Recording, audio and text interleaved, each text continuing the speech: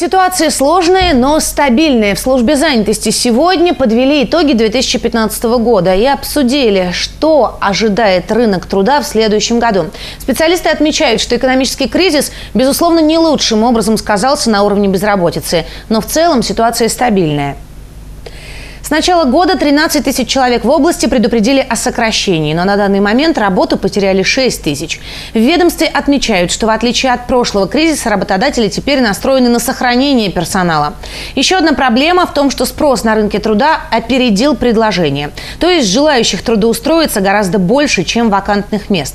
И наглядная картина минувших выходных. После того, как завод «Алмаз-Антей» объявил о наборе 54 сотрудников, на собеседование пришли 500 человек. Значит, коэффициент напряженности у нас – это нагрузка количества э, обратившихся на одну вакансию.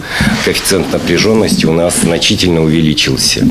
То есть, если он на начало года был он порядка одной вакансии на одного человека, то сегодня у нас уже э, одна вакансия на четыре десятых человека.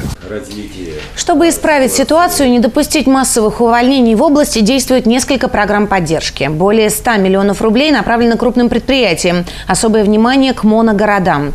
Также при центрах занятости действуют курсы переподготовки и проводятся ярмарки вакансий. В новом году ситуация на рынке труда, по прогнозам специалистов, останется напряженной, но массовых сокращений они не ожидают. В ведомстве отметили, востребованными все еще остаются рабочие специальности, врачи, инженеры и ветеринары.